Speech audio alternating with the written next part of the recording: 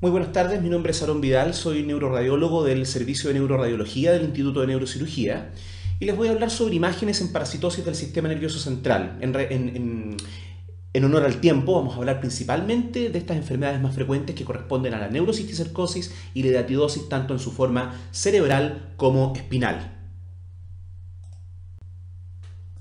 Hablaremos primero que nada de la neurocisticercosis. Como ustedes bien saben, la neurocisticercosis es la infección del sistema nervioso central causada por el estado larval de la tenia solium. Es la enfermedad parasitaria más frecuente del sistema nervioso central eh, y es endémica en muchos países en desarrollo. La Organización Mundial de la Salud la enmarca dentro de este concepto que son las enfermedades tropicales desatendidas, es decir, que en países donde a pesar de que su prevalencia es alta, eh, son enfermedades que son eh, subvaloradas en el sentido de que no, no, ha habido una recopilación de, información epidemiológica confiable durante mucho tiempo y donde eh, la acuciosidad en su diagnóstico también ha sido limitada.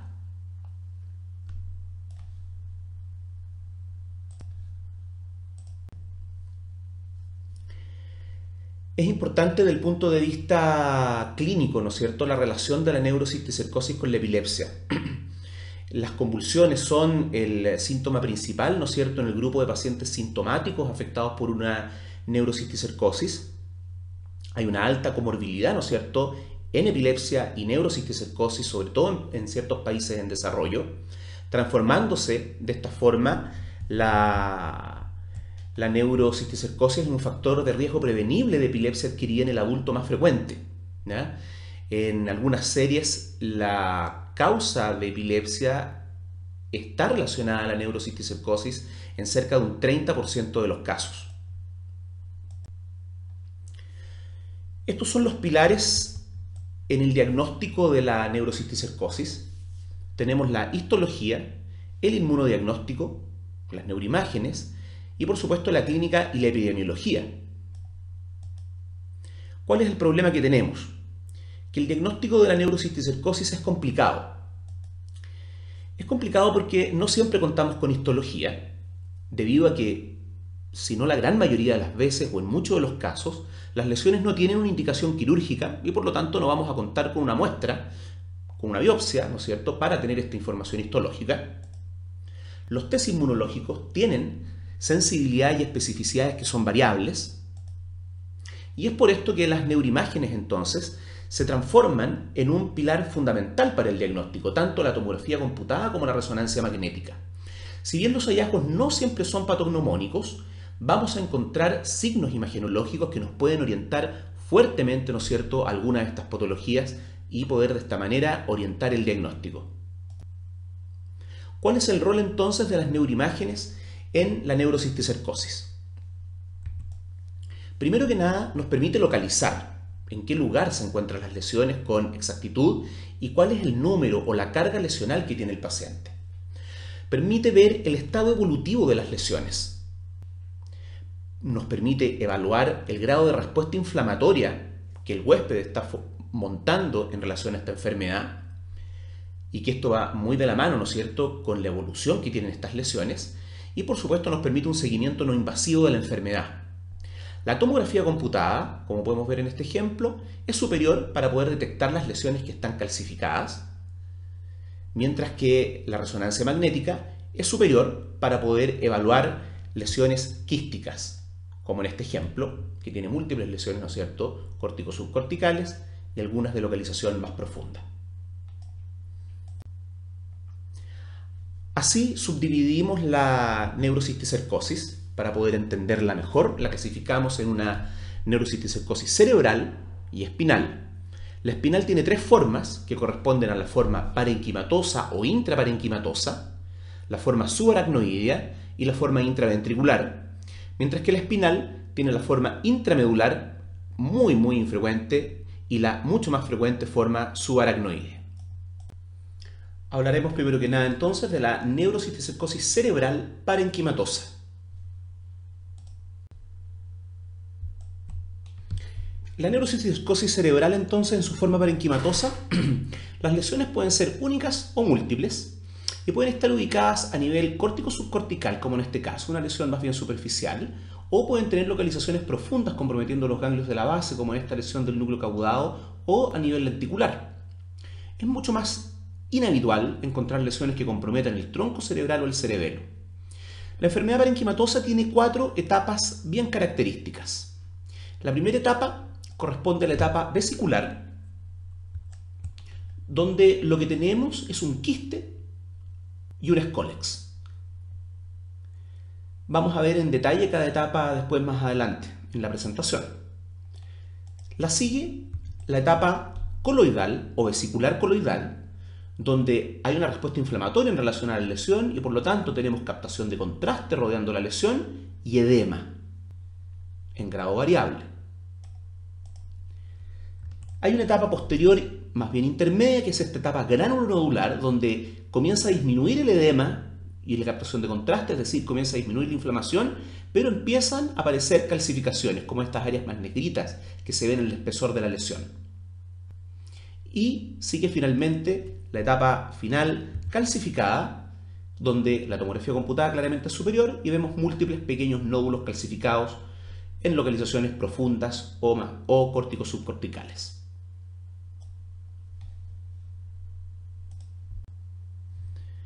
En la etapa vesicular, lo que encontramos son la presencia del quiste y el escólex. No hay una reacción inflamatoria, una respuesta inflamatoria del huésped a la presencia del quiste. La membrana se encuentra indemne y tenemos este signo que se ha denominado with dot, ¿no es cierto?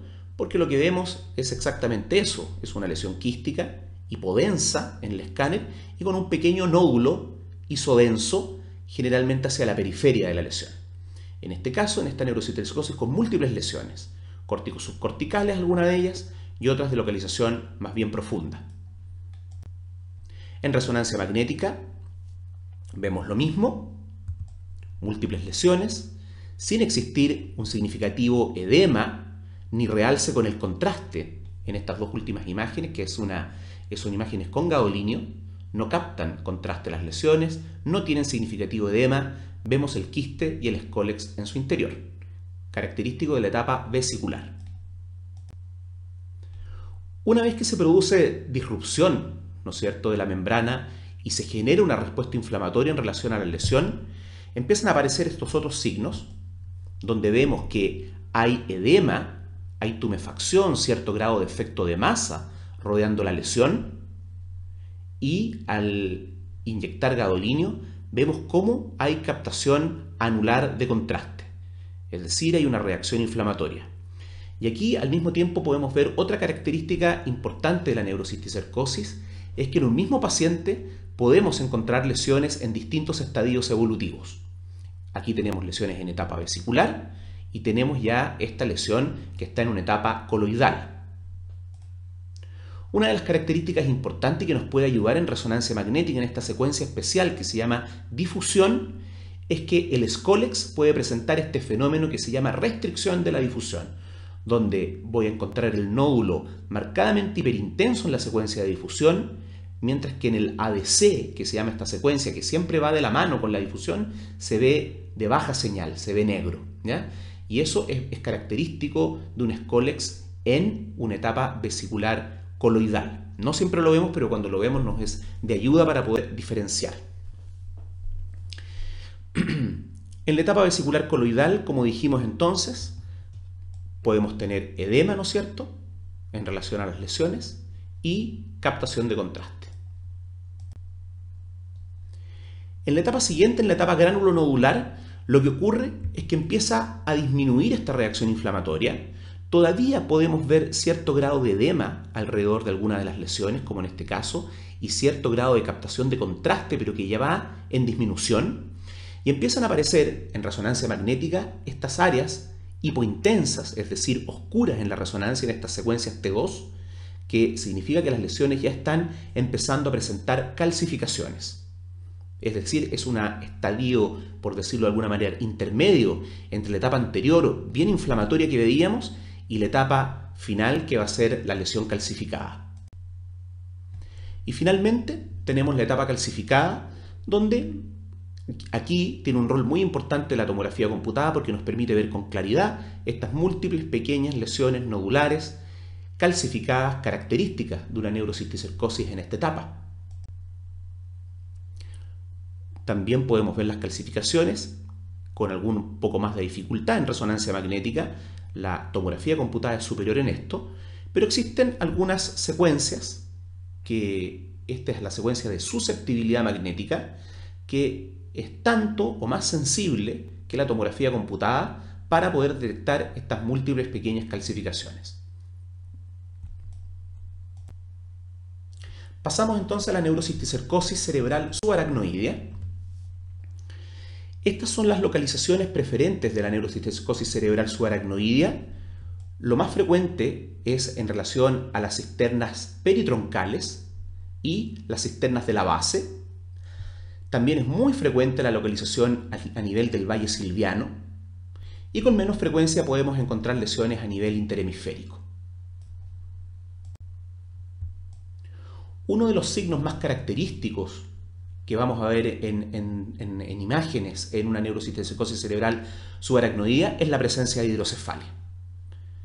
Hay bloqueo, ¿no es cierto?, a la circulación normal del líquido cefalorraquídeo por la presencia de estas lesiones, en este caso ocupando múltiples lesiones quísticas, ocupando las cisternas de la base las cisternas peritroncales. Esto genera un bloqueo en, la circulación normal del líquido cefalorraquídeo y la dilatación del sistema ventricular con presencia de hidrocefalia, que es una de las manifestaciones clínicas más frecuentes de esta forma de la enfermedad. En esta etapa de la enfermedad vamos a, ver múltiples lesiones quísticas, tabicaciones, adherencias presentes a nivel del espacio subaracnoideo. En este caso en las cisternas de la base, por ejemplo, rodeando los vasos del polígono de Willis. Aquí las lesiones característicamente no tienen escólex y puede haber una reacción inflamatoria alrededor de ellas con captación de contraste en los espacios cisternales, provocando una aracnoiditis.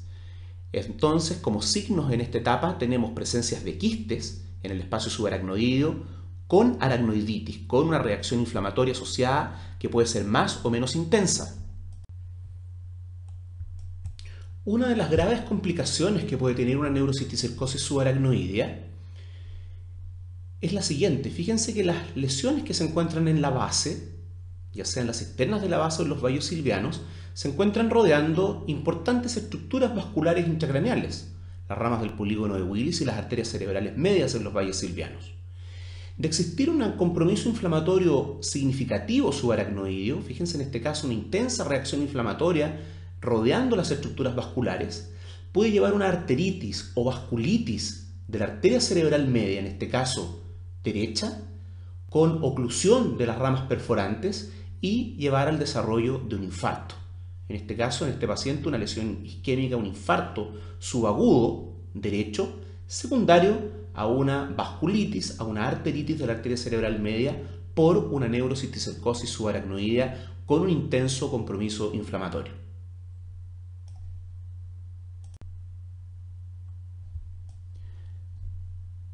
En algunas etapas más avanzadas, las lesiones también se pueden calcificar y podemos tener gruesas calcificaciones hipointensas como vemos en estas secuencias T2, todavía con cierto grado de compromiso inflamatorio y con captación de contraste.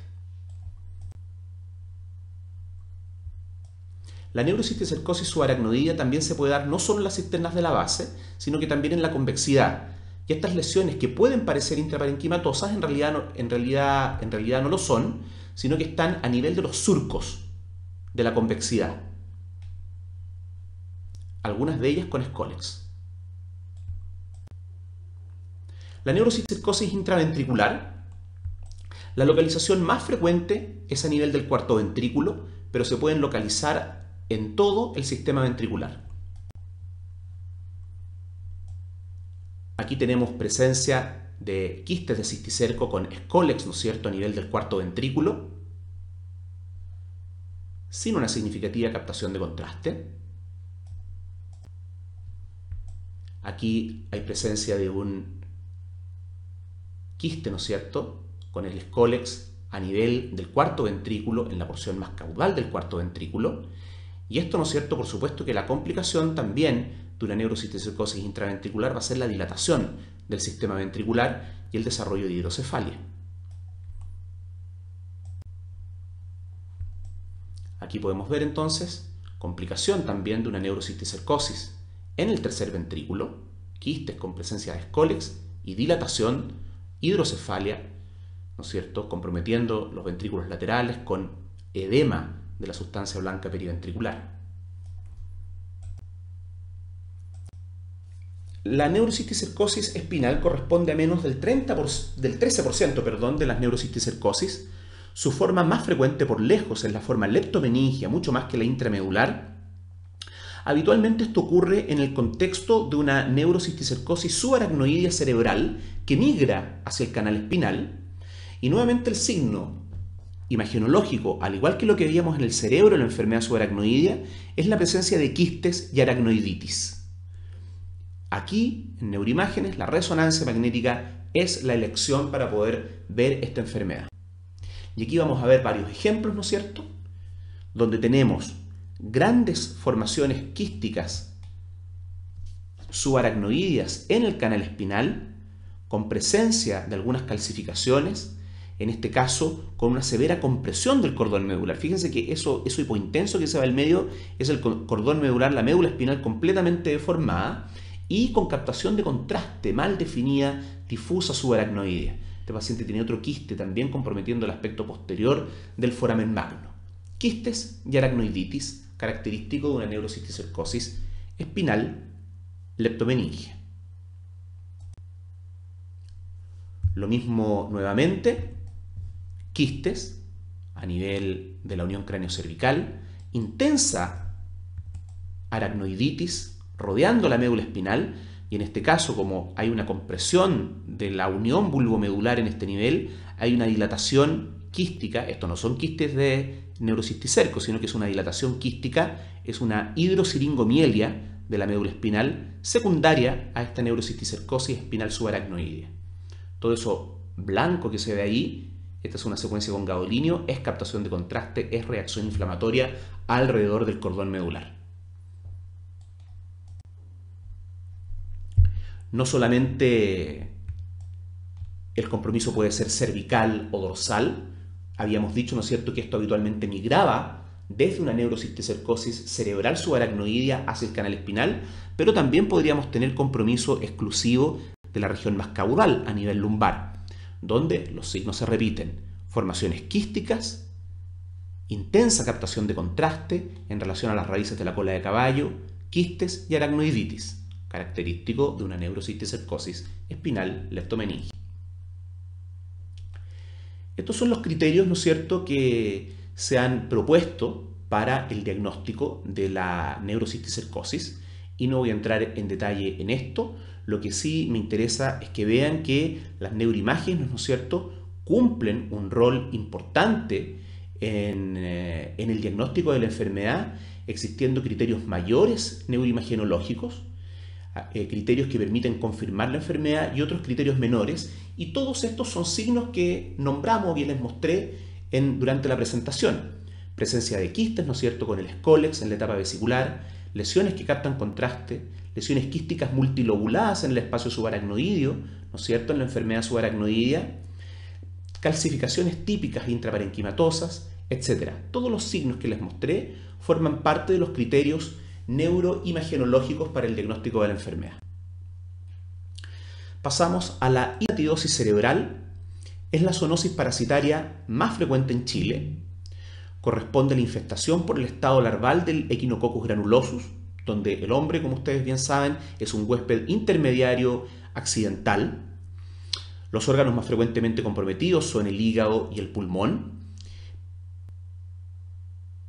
Y la hidatidosis cerebral y ósea, y cuando me refiero a ósea, especialmente la espinal, son infrecuentes.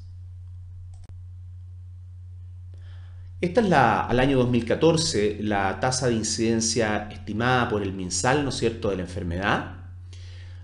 Las regiones con mayores casos, ¿no es cierto?, en nuestro país que reportan presencia de hidatidosis.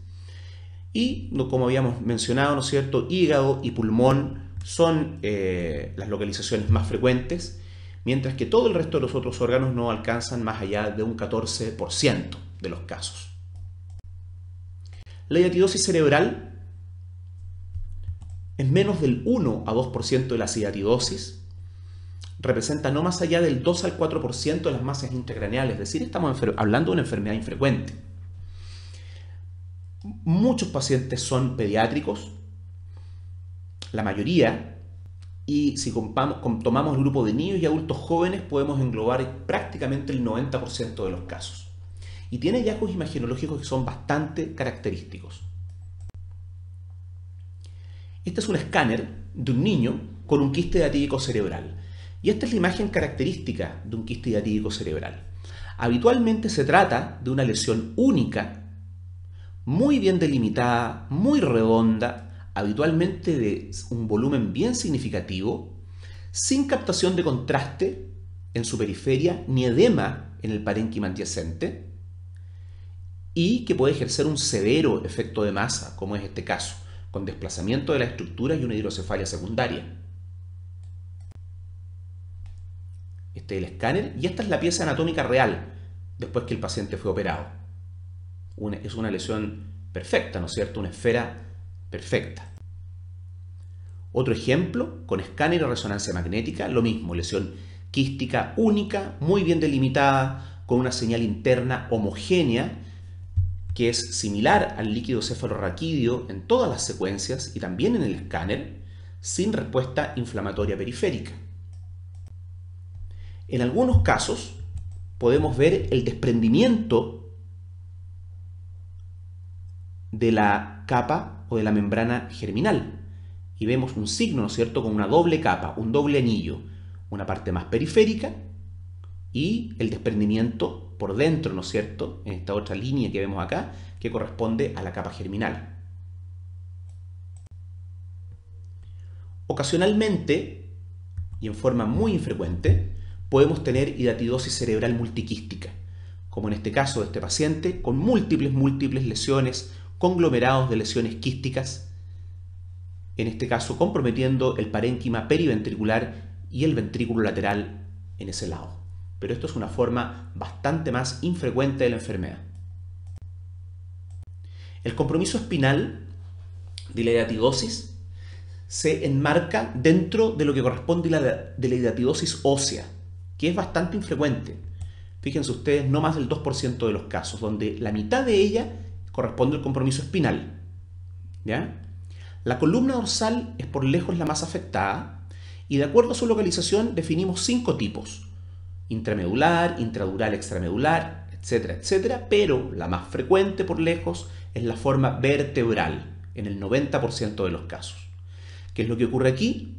El parásito llega al centro hipervascularizado del cuerpo vertebral a través de shunt portovenosos, eh, portovertebrales, perdón, de shunt venosos portovertebrales y desde ahí, desde el centro del cuerpo vertebral, se va diseminando a través de los espacios intratraveculares, expandiendo, destruyendo el hueso, para luego llegar, ¿no es cierto?, ya hacia el espacio paravertebral y eventualmente invadir también el canal raquídeo.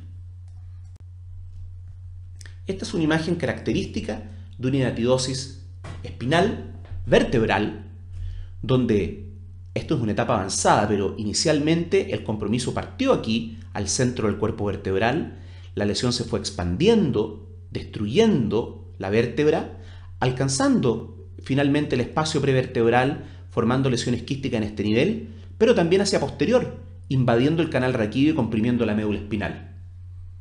El grado de captación de contraste puede ser variable, en este caso hay refuerzo periférico, ¿no es cierto?, del componente quístico intrarraquídeo. Esta es una hidatidosis espinal primaria. Aquí tenemos otro ejemplo de una hidatidosis espinal primaria, donde también la enfermedad partió en el centro del cuerpo vertebral, expandió, destruyó, compromete ahora el espacio prevertebral con grandes formaciones quísticas y se extiende también invadiendo el canal raquídeo y comprimiendo la médula espinal.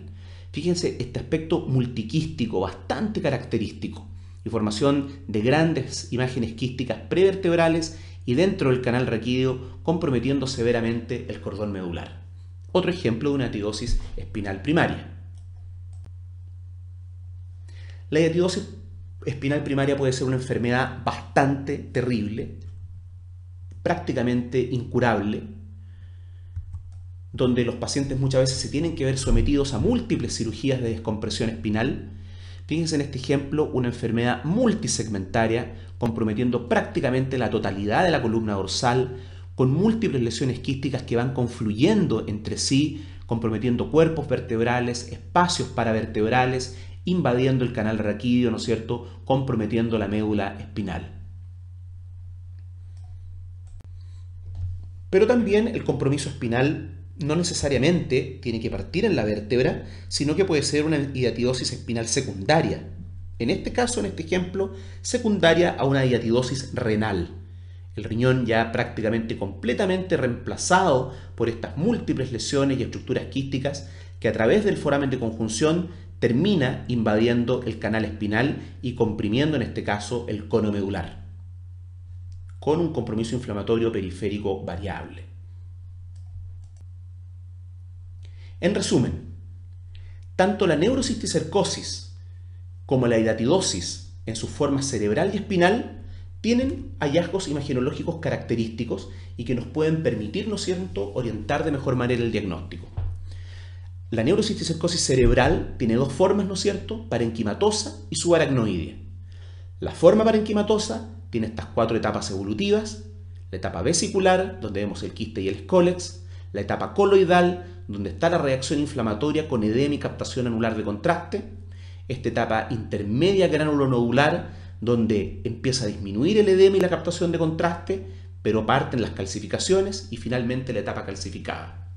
Recordar que en la neurocisticercosis espinal las formas leptomeningias son mucho más frecuentes y el signo del compromiso leptomeningio es quiste y aracnoiditis, quistes y reacción inflamatoria.